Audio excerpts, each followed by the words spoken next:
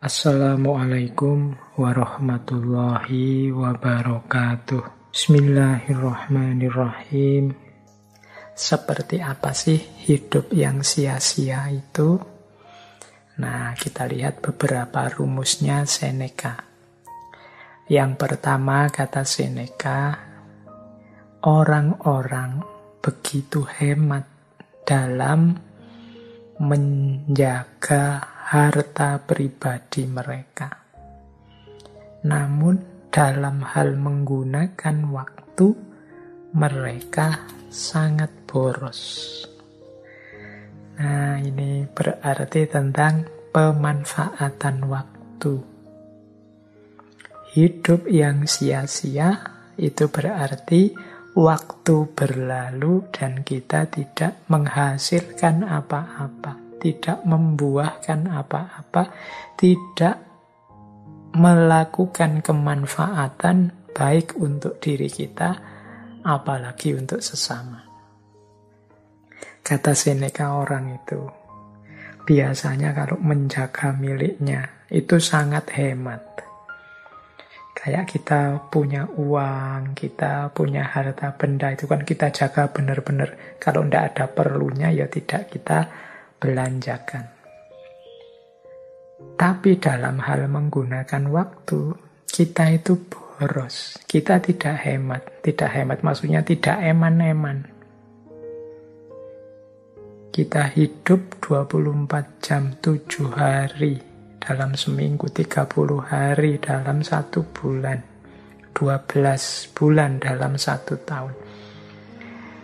Ini kita tidak pernah menghitung kemanfaatan apa yang bisa aku berikan. Aku gunakan untuk apa detik demi detik waktu yang berlalu ini. Jadi kita itu boros waktu.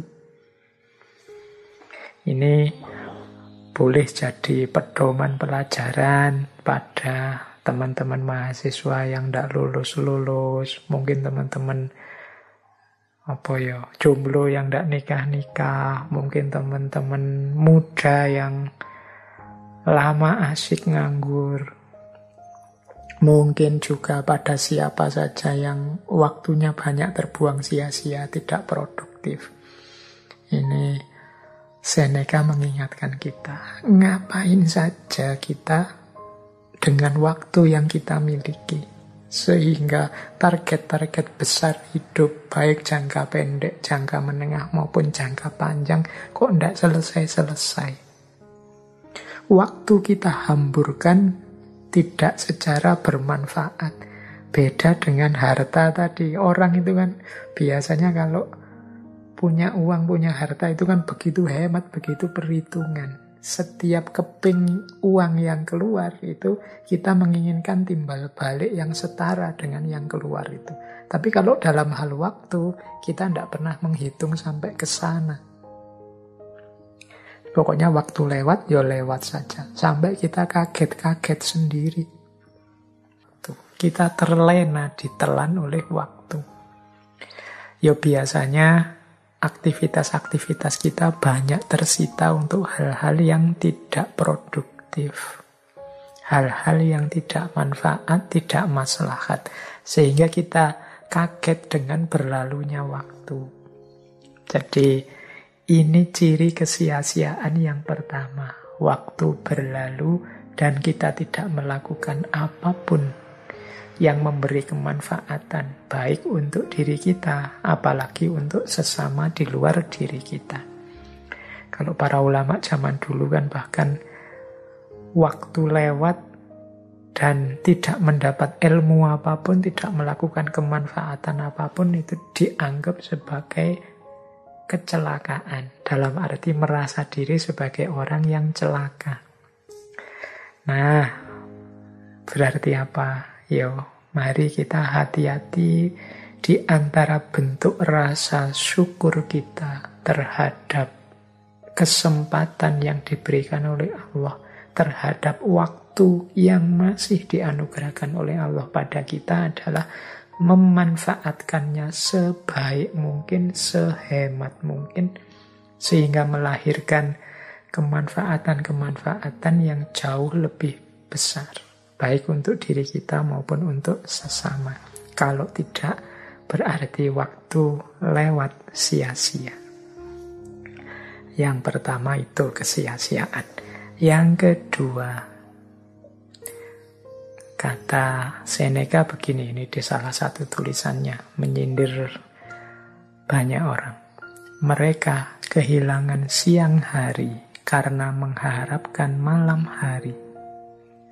Dan kehilangan malam hari karena takut datangnya fajar. Nah ini hidup kita sering sia-sia, tidak melakukan apa-apa yang pertama karena harapan-harapan yang tidak rasional. Atau menunda-nunda dengan alasan-alasan dan harapan-harapan. Yang kedua karena ketakutan-ketakutan yang tidak perlu. Jadi kita kehilangan siang karena mengharapkan malam. Itu kayak orang nanti sajalah, besok sajalah, Nah, ini kan akhirnya waktu lewat. Kita kehilangan siang. Nanti ada yang bantu kok. Nanti ada. Jadi menunggu. Kita beralasan, mencari alasan untuk tidak melakukan sesuatu. Nanti begitu yang kita tunggu atau alasan yang kita buat tadi hadir, sekarang ganti. Bukan alasan atau harapan, tapi ketakutan. Tapi kalau saya lakukan, jangan-jangan kuatirnya siapa tahu akhirnya ndak jalan sudah. Jadi yang semula memberi syarat-syarat harapan sebelum melakukan sesuatu, yang kedua ketika syarat-syarat yang ditetapkan itu ada, muncul lagi ketakutan-ketakutan sehingga akhirnya sama, tidak ngapa-ngapain. Ya contoh nih teman-teman yang narget, Pak saya mau bikin channel YouTube yang isinya manfaat untuk semuanya misalnya. Terus, tapi saya nunggu semoga nanti ada teman yang ahli IT mau diajak kerjasama, semoga nanti ada tokoh-tokoh yang mau bisa saya ajak untuk ikut launching, semoga syaratnya oke. Okay akhirnya tidak jadi-jadi buat YouTube yang manfaat. Tapi ketika syarat-syarat tadi ada, misalnya sudah ada teman yang ahli IT mau bantu, sudah ada tokoh-tokoh tertentu, sudah nanti kalau jadi saya ikut launching. Sekarang ganti, isinya ketakutan-ketakutan. Tapi kan sekarang sudah banyak Pak channel YouTube. Apa bisa ya? Apa tidak sia-sia yang saya lakukan ini? Tapi kan hari ini kalau tidak istimewa benar itu ya tetap nanti followernya sedikit. Tapi kan terus tapinya banyak ketakutan-ketakutan. Akhirnya apa? Ya tidak jadi bikin channel YouTube. Nunggu entah apa sampai ketakutannya hilang. Jadi ini disindir oleh Seneca mereka kehilangan siang hari karena mengharapkan malam hari, dan kehilangan malam hari karena takut datangnya fajar. Ini tabiat kita yang berbuah kesia-siaan. Nah, yang ketiga, kata Seneca begini: hidup kita itu tidak pendek, namun Kitalah yang membuatnya demikian. Kita bukan orang yang serba kekurangan, namun kita mempergunakan segala yang kita miliki secara sembarangan. Jadi yang ketiga ini Seneca mengingatkan kita, lo kita itu lo punya segala macam fasilitas yang dianugerahkan oleh Tuhan pada kita. Kalau kita pergunakan fasilitas-fasilitas ini sebaik mungkin, pasti kita bisa melakukan banyak hal yang berkontribusi, yang bermanfaat, yang membawa maslahat kebaikan pada masyarakat dan juga diri kita sendiri. Hanya saja selama ini kita tidak maksimal menggunakan fasilitas-fasilitas itu atau kita gunakan secara sembarangan. Akhirnya kemanfaatannya minimal. Kita punya akal pikiran. Sejauh mana sih kita daya gunakan akal pikiran gitu untuk kemanfaatan, kontribusi pada masyarakat, kita punya kesehatan, kita punya mata yang sehat, hidung yang sehat, telinga yang sehat, mulut yang sehat. Kita gunakan untuk apa sih semua itu? Jangan-jangan kita menggunakannya secara sembarangan seperti kata Seneca tadi. Akhirnya apa? Fasilitas-fasilitas yang luar biasa yang dianugerahkan Tuhan pada manusia itu tidak melahirkan apa-apa selain hanya kesia-siaan saja. Jadi akarnya kesia-siaan ternyata ada pada diri kita yang tidak memanfaatkan, mempergunakan segala fasilitas yang kita miliki dalam hidup keistimewaan-keistimewaan yang diberikan oleh Tuhan pada kita sebagai manusia. Kita pergunakan secara sembarangan, tidak kita pergunakan dengan baik dan manfaat. Jadi yang ketiga, kesia-siaan itu muncul karena kesembronoan kita, keabaian kita dalam mempergunakan nikmat-nikmat fasilitas-fasilitas dari Tuhan. Jadi dari tiga hal ini bisa kita simpulkan berarti menurut Seneca hidup itu sia-sia.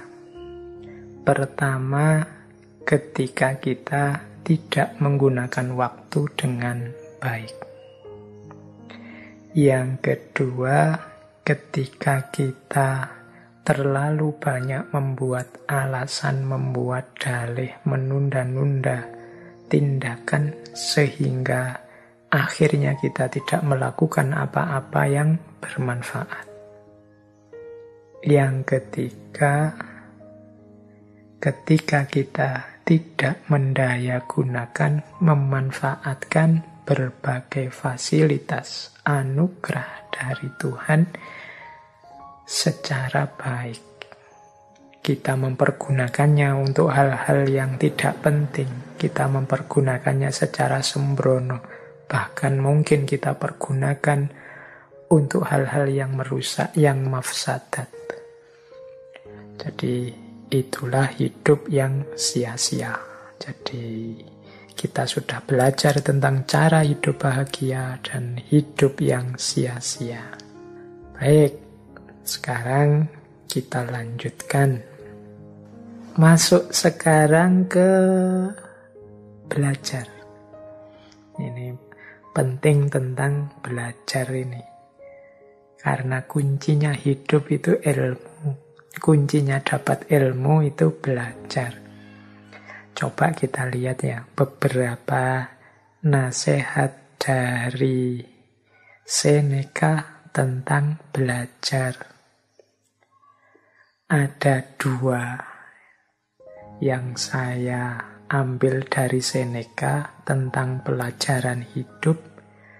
Sisanya ini sifatnya praktis yang berhubungan dengan buku. Nanti kita jelaskan di belakang yang berhubungan dengan buku. Kita jelaskan yang dua dulu. Jadi kata Seneca yang pertama begini. Kita tidak belajar di sekolah.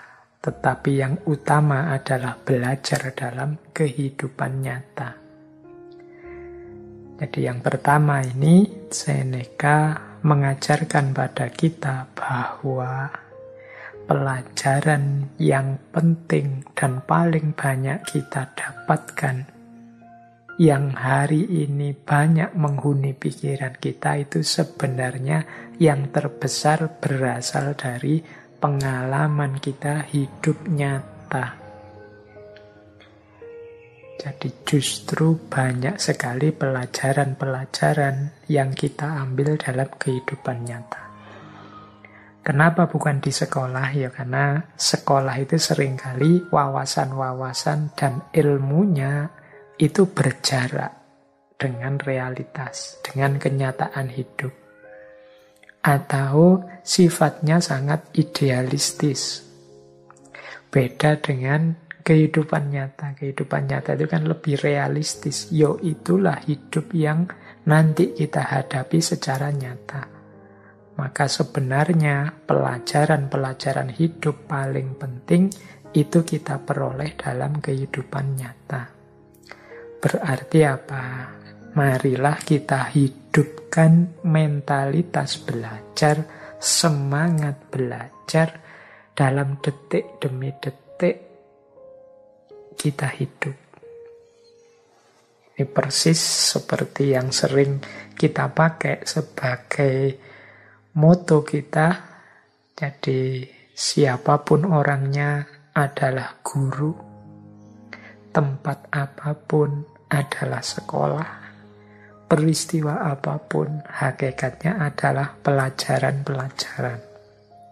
Nah, jadi kalau kita arif bisa mengambil pelajaran dari kehidupan nyata, insya Allah nanti kita akan jadi orang yang luas wawasannya sekaligus bijaksana.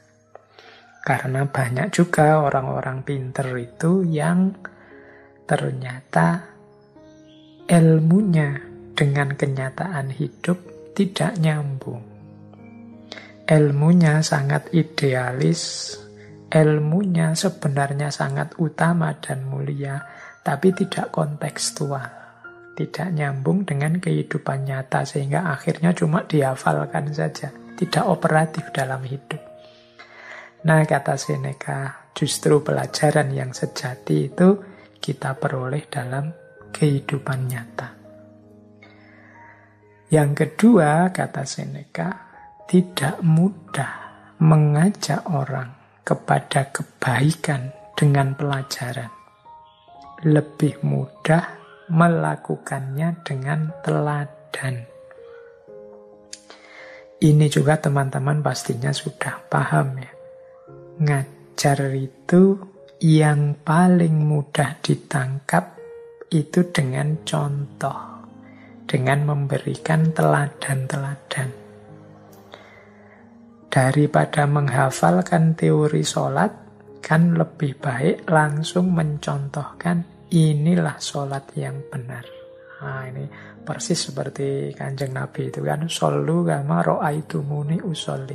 Pelajarannya itu ya dalam teladan beliau sholat itu. Itu akan lebih mudah dipahami, lebih masuk. Ada contoh-contoh konkretnya. Ini kalau yang kedua ini teman-teman mestinya sejak lama sudah bisa menerima bahwa memang yang bil hal itu lebih bisa masuk daripada bil kaul yang ada contoh nyatanya itu lebih bisa diterima daripada yang kata-kata dan ceramah saja. Mengajak pada kebaikan itu cara paling mudah tunjukkanlah inilah kebaikan itu Apalagi kalau dan inilah manfaat yang saya dapat dengan melakukan kebaikan itu. Oh, itu orang akan lebih tertarik untuk meneladaninya.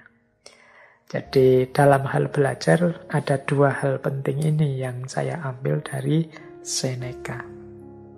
Ada tiga hal yang lain yang ini mungkin penting untuk teman-teman apalagi yang mahasiswa. Ini hubungannya dengan buku dan tulisan. Ini kan banyak yang jadi aktivis-aktivis perbukuan ini teman-teman yang mendengarkan ngaji filsafat. Ada beberapa quotes dari Seneca yang mungkin menarik untuk teman-teman yang cinta buku. Kata Seneca begini, Leisure without books is death and burial of a man alive. Jadi kesenangan tanpa buku adalah kematian dan kuburan bagi seseorang yang hidup. Jadi kesenangan-kesenangan kita itu kalau tidak diwarnai buku-buku itu seperti kematian dan kuburan. Ini sebenarnya menarik kalimat ini berarti apa? Ayo kita gembira, ayo kita senang dalam hidup ini, tapi jangan lupa buku-buku, jangan lupa belajar, jangan lupa meningkatkan wawasan keilmuan. Leisure. Leisure itu kan nantinya seneng-seneng. Yuk ngopi-ngopi, nongkrong-nongkrong, guyon-guyon, tapi tetap ada bukunya, tetap ada ilmu dan wawasan yang berputar di situ. Jadi leisure without book is death and burial of a man alive. Jadi kegembiraan tanpa buku itu seperti kematian dan kuburan bagi orang yang hidup. Kalau hanya ketawa-ketawa saja, kalau hanya seneng-seneng saja, ngopi-ngopi, ngerokok saja, tidak ada wawasan yang tambah, tidak ada pengetahuan yang bertambah, ah itu kayak kuburan, kayak kematian. Maka harus ada buku di situ. Ini sebenarnya dorongan untuk kita belajar kapan pun dan di mana pun. Nah masih tentang buku, yang kedua Seneca bilang begini. Tidak masalah berapa banyak buku yang kau miliki, namun seberapa bagus buku yang kamu miliki. Nah ini bagi kolektor-kolektor buku, teman-teman yang suka membaca. Ternyata kata Seneca, yang penting itu bukan kuantitasnya, tapi kualitasnya buku. Punya banyak buku, kok isinya buku begitu-begitu semua. Apalagi buku bacaan lagi. Wah, itu berarti masalah jadi yang tidak masalah itu bukunya harus berkualitas. Jadi seberapa bagus buku yang engkau miliki, di situlah pengetahuan dan pikiranmu terbentuk. Karena bacaanmu kan menentukan pikiranmu, gagasanmu, caramu berpikir. Kalau buku-buku ndak penting, buku-buku apalagi ya yang merusak yang engkau baca ya seperti itulah nanti isi pikiranmu. Maka bacaan itu penting. It does not matter how many book you have. Jadi bukan masalah berapa banyak buku tapi berapa berkualitas buku yang kamu miliki. Ini kalau saya ketemu Seneca mau saya bilang quotes ini kurang satu kalimat. Dan sejauh mana engkau membaca buku-buku itu. Karena banyak kan hari ini teman-teman itu yang statusnya hanya kolektor buku. Mungkin buku-buku berkualitas yang dimiliki, tapi ya jarang dibaca atau jangan-jangan tidak pernah dibaca, hanya jadi koleksi saja. Apalagi kalau buku-buku itu hasilin download. Wah, kita berlomba-lomba download. Kalau ada teman punya PDF-nya buku apa, kita minta-minta ngantri. Kita koleksi di laptop kita sebanyak mungkin. Ning ya ora sing diwaca. Hanya jadi koleksi saja. Itu kan status kita akhirnya bukan jadi pembaca buku, tapi kolektor buku. Jadi ini bagi teman-teman yang suka dengan buku ya. Jadi semoga buku itu statusnya bukan barang koleksi. Cirinya buku bukan barang koleksi itu ya berarti dibaca beneran, bila perlu dicoret-coret, ditanda-tandai mana yang penting, mana yang bisa aku ambil, dan lain sebagainya. Jadi bagi Seneca tidak penting berapa banyak buku, yang penting buku-buku yang berkualitas saya tambah, yang penting lagi buku-buku berkualitas itu dibaca atau tidak. Kalau hanya dikoleksi, ya tidak ada gunanya. Nah, masih saya bawa lagi quotes tentang buku dan belajar ini dari Seneca. Beliau punya kalimat juga begini. Saya tidak akan pernah malu mengutip penulis yang buruk jika kalimatnya bagus. Nah ini kalau dalam dunia akademik namanya objektif. Jadi membaca buku, membeli buku, mengutip isi buku itu tidak pertama-tama melihat siapa yang nulis, tapi melihat memang isinya bagus. Kalimat-kalimatnya mungkin isinya kebaikan, kebenaran yang perlu diikuti. Jadi kata Seneca, aku ndak malu ngutip penulis-penulis, mungkin penulis ini dianggap orang buruk, tapi kalau ada bagian dari buku atau tulisannya itu yang menurutku baik dan bagus, yuk aku ambil. Jadi ini bahasa kita hari ini objektif. Ini mungkin pelajaran loh bagi kita. Hari ini kan kadang-kadang kita itu mau setuju atau tidak pendapat seseorang ikut atau tidak pernyataan seseorang, kita lihat orangnya dulu, kita lihat afiliasi organisasinya dulu, kita lihat kemarin-kemarin dia jelek apa bagus. Kalau Seneca enggak, dia objektif saja. Orang ini mungkin bagi banyak orang dianggap penulis yang buruk atau orangnya memang buruk. Tapi di buku yang dianggap buruk ini ada bagian yang menurutku bagus. Ya aku kutip bagian yang bagus itu. Jadi yang bagus disebut bagus, yang tidak bagus ya disebut tidak bagus. Saya tidak malu, meskipun ngutip tokoh yang mungkin bagi orang tertentu dianggap jelek. Karena seperti saya bilang tadi di depan, kadang-kadang dalam hal-hal yang buruk ada kebaikan yang bisa kita ambil, dan dalam hal-hal yang baik ada keburukannya, sehingga kita tetap harus kritis. Jadi ini salah satu tuntunan dari Seneca. Ini kalau pakai bahasa agama mungkin ya unzur makola wala tangzur mangkola. Lihatlah apa yang dikatakan, jangan melihat siapa yang berkata. Setiap malam sebelum tidur, kita harus bertanya kepada diri kita. Yang pertama, apa kelemahan yang aku taklukkan hari ini? Yang kedua, kebajikan apa yang aku capai? Nah ini penting bagi kita ya, biar hari-hari kita itu senantiasa dari kebaikan menuju lebih baik.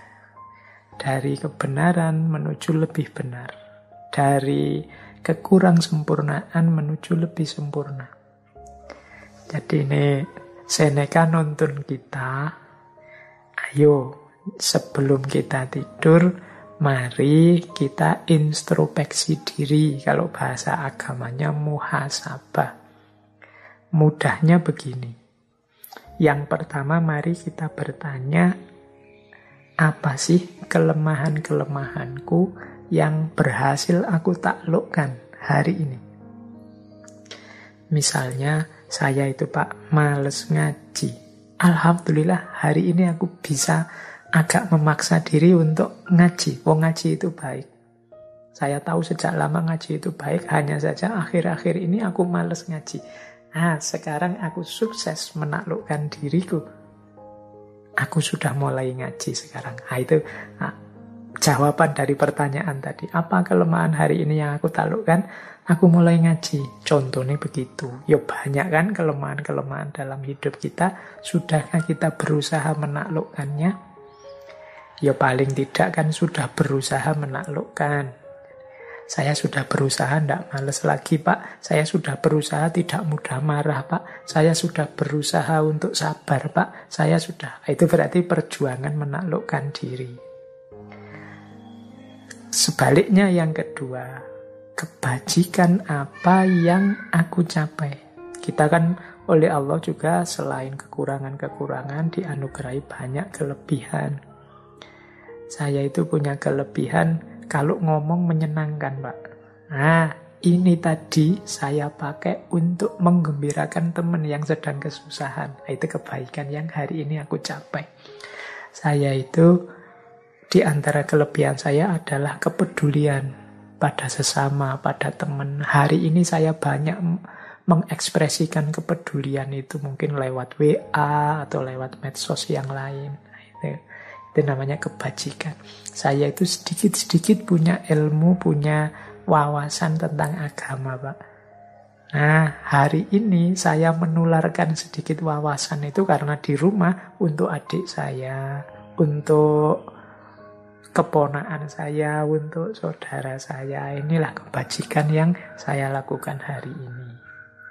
Jadi ini teman-teman salah satu tips dari Seneca. Yuk setiap harinya sebelum tidur itu kita tanya kepada diri kita dua hal ini. Apa perjuanganku mengatasi kekurangan kelemahanku hari ini? Yang kedua, apa tindakanku, apa perlakuanku yang menunjukkan kebajikan sesuai yang aku mampu hari ini. Jadi ini dua pertanyaan menjelang tidur. Ini mungkin nanti jadi kunci dari kebijaksanaan-kebijaksanaan hidup yang lain.